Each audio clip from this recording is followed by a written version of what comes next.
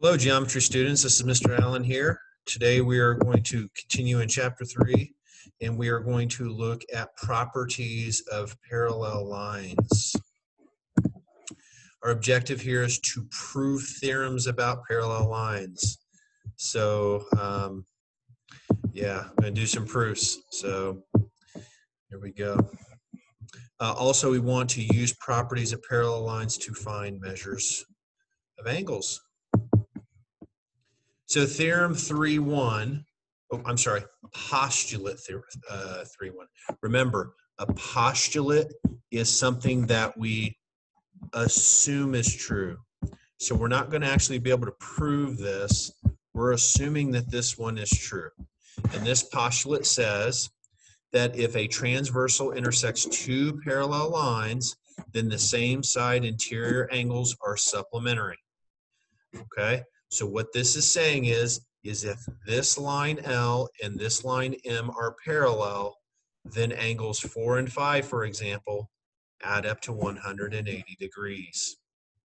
Again, this is a postulate, so I'm not going to prove it. We're going to just assume that that's true. So let's look at an example here. It says the measure of angle 3 is 55. So we know that this angle right here is 55 degrees. Which angles are supplementary to angle 3 and how do you know? Well, automatically we know that angle 8 is supplementary to angle 1 oops, I'm sorry, to angle 3 because of the postulate we just talked about in the previous slide. The postulate on the previous slide tells us that same side interior angles when the lines are parallel are supplementary. So angle 3 has to be supplementary with angle 8. We could also argue that angles 4 and angles 2 are supplementary. And the reason we can argue that is angles 2 and 4 form a linear pair. And we know that linear a linear pair with angle 3, right? So angle 3 and 4 together form a line. Angles 2 and 3 form a line. Those are linear pair. So they have to be supplementary with angle 3. I should uh, linear pair supplementary, okay? Also, we could argue that angle six, angle six, oops, angle six has to be supplementary. I'm gonna abbreviate with angle three as well. So these four angles right here are all supplementary to angle number three. And they're, oh, I guess I should explain why angle six is supplementary to angle three. If angle 3 is supplementary to angle 8, which we know that it is based on our postulate, angles 6 and 8 are what we call vertical angles, and vertical angles turn out to be congruent. Therefore, angle 3 is supplementary to angle 6. All right, so now we're going to look at theorem 3.1. This is a theorem. I'm going to prove it on the next slide. If a transversal intersects two parallel lines, then the alternate interior angles are congruent. So again, notice that we have two parallel lines. Lines L and M are parallel. Then the claim is, is that angle 4 and angle 6 are congruent. So that's written here. Angle 4 is congruent to angle 6. And similarly, angle 5 and angle 3 are congruent. Okay, so that's what the theorem says. The theorem says if the lines are parallel, then the alternate interior angles are congruent. So let's go ahead and do a proof of that. Now I'm only going to do a partial proof of this. Um, up here is the theorem. And my goal in this example, we're going to use this diagram. Okay. I am only leaving the diagram up, this theorem box up here, just for reference that that's the theorem. I'm using this diagram below though for our proof. And my goal in this proof is I'm going to basically stop the proof once I've shown that angles 4 and 5 are congruent.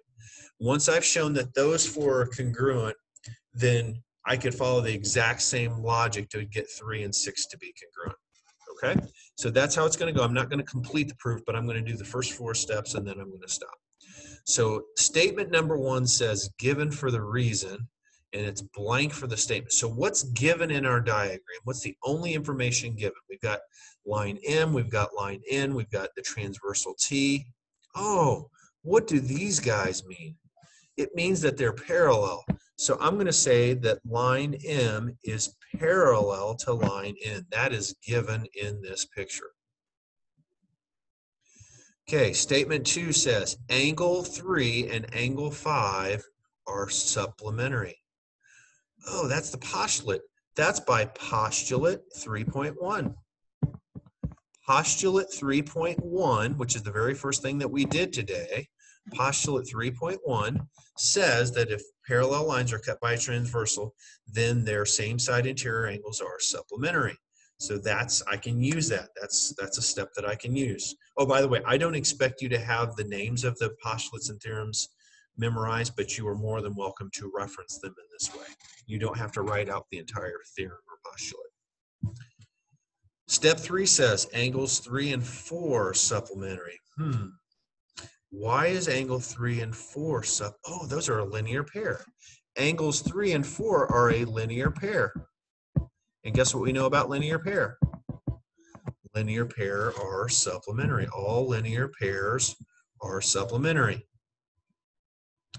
Step four, angle four is congruent to angle five. Hmm. How did we get that? Oh, okay. So if you look at statement two and statement three, here's what it says. It says angle three is and angle five are supplementary. Then in step three, it says angle three and angle four are supplementary. So why do four and five have to be congruent? That goes all the way back to chapter two. You want to reference your book. That is chapter two. I believe it's section five. Nope, section six. Theorem 2.2. Theorem 2.2, which is the congruent supplement theorem. It's called the congruent supplement theorem, and it's on section 2.6, congruent supplement theorem. So now I have proven indeed that angle 4 and angle 5 are congruent, and those are what we call an alternate interior pair of angles. Now, I could continue this proof to show you that 3 and 6 are congruent, but I'm going to stop there on this proof. Okay, theorem 3.2. This is another theorem that we can prove. I'm not going to prove this theorem. This one says that if a transversal intersects two parallel lines, then the corresponding angles are congruent. So if we have our two parallel lines again and cut by a transversal, then we know that all eight or all four pair or eight angles are congruent. So angle one and angle five are going to be congruent because they're corresponding. Angle two and six are corresponding, so they're going to be congruent all the way down the line. This is a very powerful theorem. All right, so let's look at example number two. Example two says line A and line B are parallel, so that's given, and we can even see that in the diagram. It says prove angles 1 and angles 8 are supplementary. Angle 1 and angle 8 are supplementary. So I would encourage you to pause the video and just go ahead and write this proof. Um, I've left it completely blank. I'm going to fill it out, but I'd like you to try to do that right now. So take a minute, pause, draw the picture, and see if you can prove that angle 1 and 8 are supplementary. And by the way, your proof's probably going to look different than mine. Okay, hopefully you have done the proof. I'm going to go ahead and do the proof now, or my version of the proof. Um, so here we go. So I'm trying to prove that this angle here and this angle here are supplementary.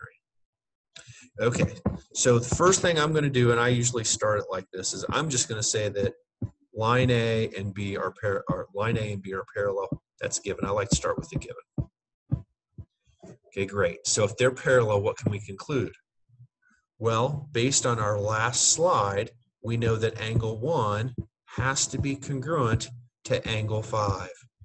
And that is by theorem 3.2. theorem 3.2, or what we call the corresponding angles theorem, tells us that the corresponding angles have to be congruent. All right, great.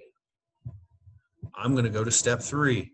I'm going to say that angle one and angle eight, oops, not angle one, angle five, sorry. Angle five and angle eight are a linear pair. They're a linear pair. Why are they a linear pair? By the definition of a linear pair.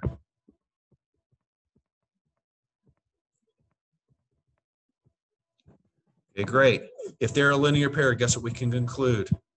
Angles 5 and angle 8 are supplementary. Why are they supplementary? Because a linear pair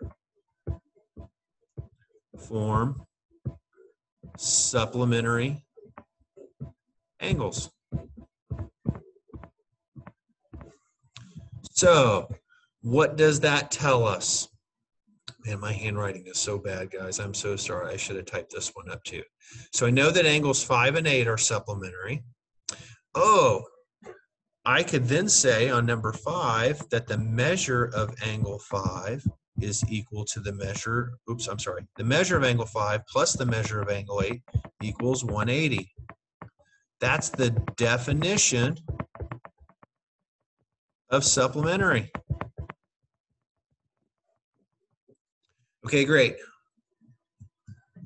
Step six, I could say that the measure of angle one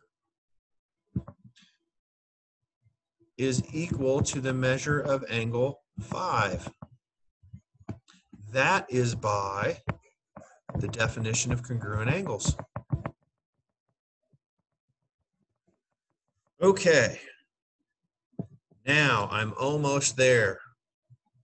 Look what I've got. Now I want to um, let you know that this is not an easy process and I'm, I'm running out of room on this proof, but that's okay. I teach, I've, I've been teaching for a long time. I haven't taught geometry in a while, but I've, I've taught geometry several times in the past. I know all the rules and definitions and theorem. If you don't know them, you need to have a little reference sheet, some notes or something, or your book handy to help you come up with these things. So I claim now that the key steps that I'm going to put together are this step right here, step, this step right here, step six, and this step right here, step five. Since I know that the measure of angle one is equal to the measure of angle five, and I'm going to have to go over here because I'm running out of room. I'm going to do some more steps over here. Uh, Step seven, I'm now going to say that the measure of angle one plus the measure of angle eight equals 180. And the reason for that is going to be because why? Well, I just substituted. In step six, we said that angle one and angle five were equal. So I can replace angle five with angle one. So that's by the substitution property. And guess what? write it down here. If angle 1 plus the measure of angle 8 is 180, then that means that angle 1 and angle 8 are supplementary. That's by the definition supplementary angles. Okay, that was a that was kind of a, a, long one there. That was eight steps. You may have done it in less steps than I did, but again, let me go through what I did. We're given that the lines are parallel. Great. We can conclude that angles 1 and 5 are congruent by the theorem 3.2, which says that corresponding angles have to be congruent when the lines are parallel. Then I said that angles 5 and 8 are a linear pair by the definition of a linear pair. Then I said that 5 and 8 are supplementary because linear pair forms supplementary angles. Then I said that the measure of angle 5 plus the measure of angle 8 equals 180. That's the definition of supplementary angles. Uh, the measure of angle 1 is equal to the measure of angle 5. That's the definition of congruent angle. So we knew up here that they were congruent, so we can say they have the same measure. Now I can tie statements five and six together to get the measure of angle one plus the measure of angle eight equals 180. That's by the substitution uh, property. And then finally, the uh, angle one and angle eight are supplementary angles. Definition of supplementary angles. Okay, our last theorem today is theorem 3.3, which is the alternate exterior angle theorem. And here's what it says. If a transversal cuts two parallel lines, then the alternate exterior angles are congruent. In other words, angle one will be congruent to angle seven, and angle eight will be congruent to angle two. All right, next problem. It says, what are the measures of angles three and four? Hmm. Notice that in the diagram, they tell us that line L and M are parallel and line P and Q are parallel. We're trying to find the measure of angle three and four. Well, this angle, this theorem right here tells us that alternate exterior angles have to be congruent. So if I'm looking at this parallel line and this parallel line with this purple line being the transversal, what would we call these two angles? We would call them alternate interior angles. So I claim that the measure of angle 3 also has to be 105 degrees. And that's based on theorem 3.3. So by theorem 3.3, they are congruent by theorem 3.3. So if angle, if this angle is 105, then angle 3 has to also be 105. Now we've got to get angle 4 let's see here. So I'm going to erase what I have on my picture here so far. Let's get rid of all of that. So angle four, let's see here. Angle four is here. Hmm. Okay, well, what if we did this? These two lines are parallel, and now we'll let the green one be the transversal. Notice that those two angles, angle four and the one that says 105 degrees, those are what we call same side interior angles. And if we go way back to theorem, I'm sorry, postulate 3.1 tells us that same side interior angles have to be supplementary. So when we go back to this particular problem, the angle 4 plus 105 have to equal 180. So I'll say the measure of angle 4 plus 105 have to equal 180. And that's by postulate 3.1. So therefore, the measure of angle 4, I can subtract 105 from the 180 and I'll get 75. So that's the measure of angle, angle 4. We've got both angles and the reasons. All right, last problem. So, um, oh my goodness, this is the exact same problem. okay, so I must have copied the wrong thing down there. Well, okay, I guess that'll end this presentation.